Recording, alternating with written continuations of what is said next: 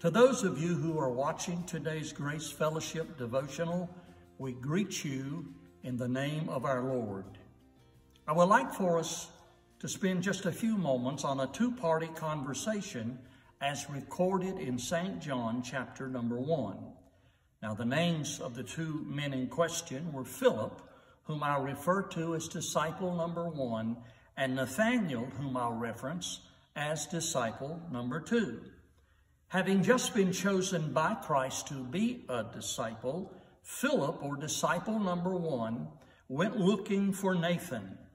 Finding him under a fig tree, disciple one said to disciple number two, quote, We have found him of whom Moses in the law and the prophets did write, Jesus of Nazareth, the son of Joseph.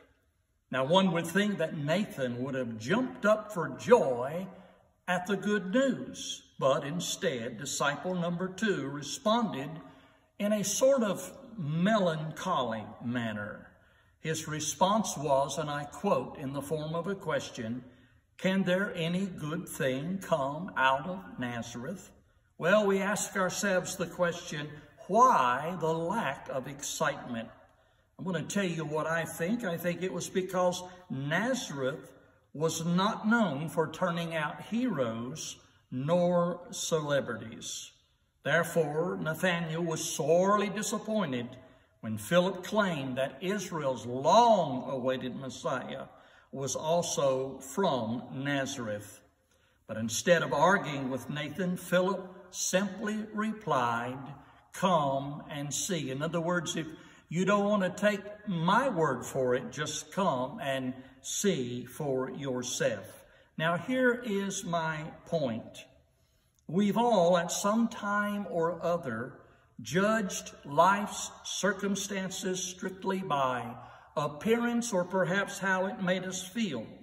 And we forget sometimes that even bad situations do often produce some positive outcomes. For example, even as I speak, millions are being affected by this global nightmare called the coronavirus. One day it seems that things were going fine and the next day the whole world is sick. To quote the President of the United States, quote, the whole world is shut down. But I submit to you that in spite of all this suffering and disappointment, there are some positive things that will come as a result of this dilemma.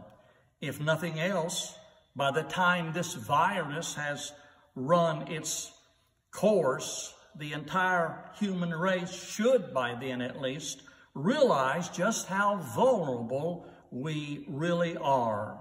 No wonder the proverbist wrote, wrote in the Old Testament, Boast not thyself of tomorrow, for you know not what a day may bring forth.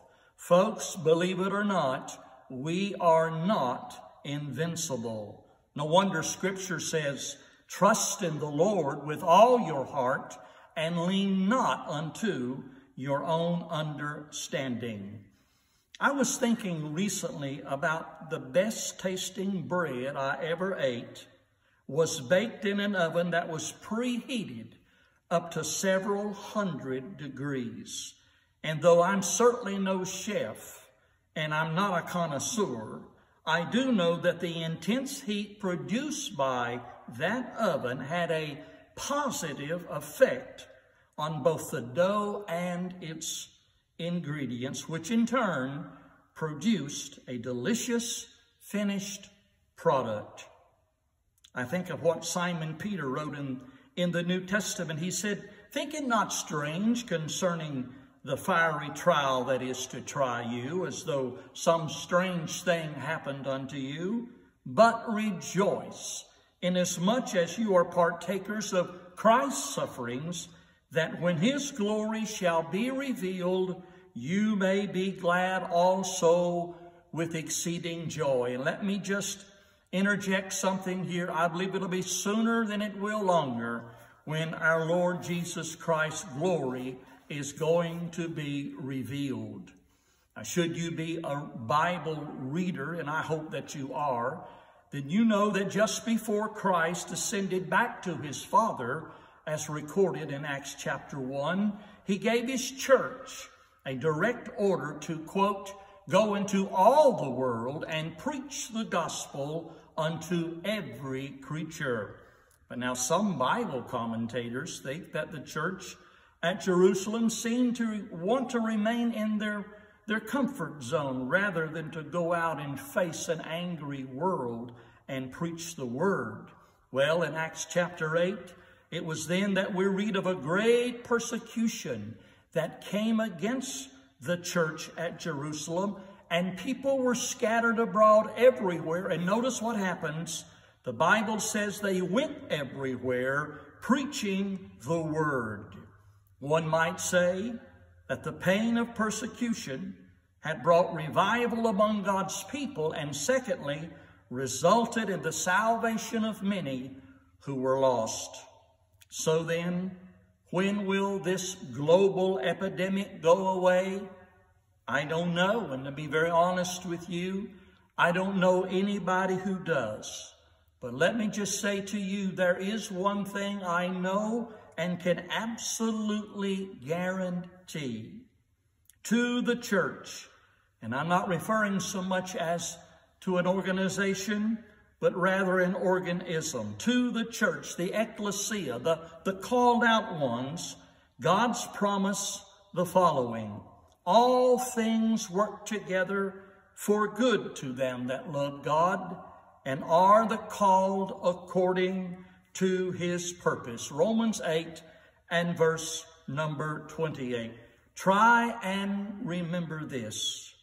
The best thing God ever gave to us once lived in Nazareth. I want to close in a word of prayer. It's a prayer that was written for the nation of Israel and is located in Numbers chapter number 6. It goes like this. The Lord bless you and keep you. The Lord make his face shine upon you and be gracious unto you. The Lord lift up his countenance or turn his face toward you and give you peace. Thank you so much for watching.